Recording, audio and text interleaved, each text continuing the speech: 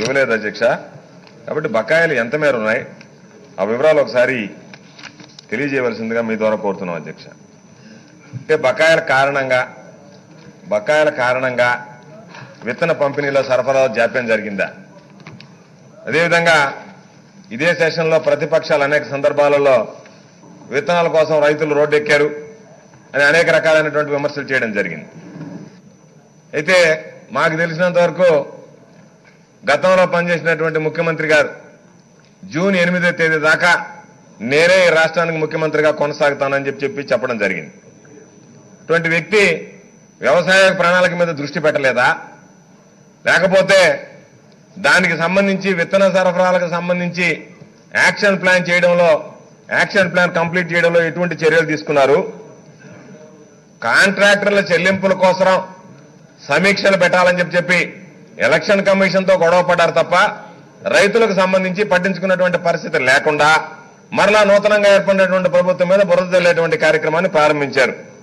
కాబట్టి మేము అడిగేది ఏంటంటే విత్తన సంస్థలకు సంబంధించి బకాయిలకు సంబంధించి అధికారులు ఆ రోజు ఉన్నటువంటి ప్రభుత్వం దృష్టికి తీసుకువెళ్ళారా లేదా? తీసుకుంటే ప్రభుత్వం ఎటువంటి చర్యలు తీసుకునింది?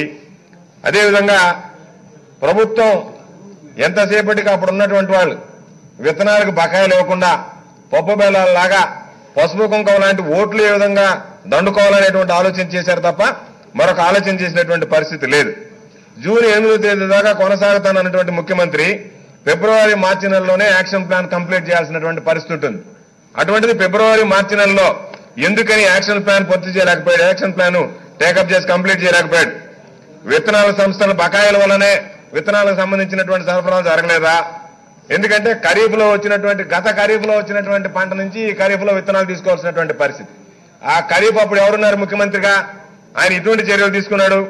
కాబట్టి ఆనాడు ప్రభుత్వం తీసుకున్నటువంటి చర్యలేంది లేదా ఏమన్నా విత్తనాల సరఫరాలో కూడా మిగతా వాటిలో ఏదైనా బేరసారాలు ఏమైనా కుదరకి ఏమైనా ఆగిపోయిందా? అదేవిధంగా కొంతమంది ఓటమి పాలైనటువంటి బాధతో అనేక రకాలైనటువంటి వ్యాఖ్యలు చేయడం జరిగింది. ఇది ఈ ప్రభుత్వం వచ్చినటువంటి వెంటనే. అరవై ఐదు శాతం రైతులకు సంబంధించినటువంటి విషయంలో అరవై ఐదు శాతం రైతులు వ్యవసాయం ప్రధానమైనటువంటిగా ఉండేటువంటి విషయంలో ఆ ప్రయోజనాలను విస్మరించి ఉదాసీనంగా ప్రవర్తించడం అనేటువంటి సరైనటువంటి పద్ధతి కాదు అధ్యక్ష. కాబట్టి రైతులు సాగు చేసే సమయానికి విత్తనం అందించకపోవడం అనేటువంటిది నేరం కింద పరిగణించాల్సినటువంటి అవసరం ఉంది.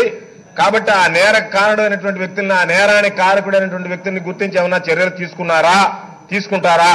అదేవిధంగా విత్తనాలు సబ్సిడీలు అందజేస్తున్నందువల్ల అవకతవకలు జరగకుండా ప్రధానంగా వేరుశనగకి సంబంధించి ప్రభుత్వం ఎటువంటి చర్యలు తీసుకుంటుంది అనేటువంటిది ప్రస్తుత ప్రభుత్వం గత ప్రభుత్వంలో జరిగిన పొరపాటును సరిదిద్ది విత్తన సరఫరా సాఫీగా జరిగేందుకు ఎటువంటి చర్యలు తీసుకుంటున్నారు. అదేవిధంగా ఈ రోజు ఉన్నటువంటి ఏడు పాయింట్ ఐదు ఒక లక్షలకు సంబంధించినటువంటి ఇండెంట్లో ఐదు పాయింట్ ఐదు లక్షల క్వింటాలు ఉంటే మిగిలినటువంటి వాటిని సరఫరా చేయడానికి ఎటువంటి చర్యలు తీసుకున్నారు?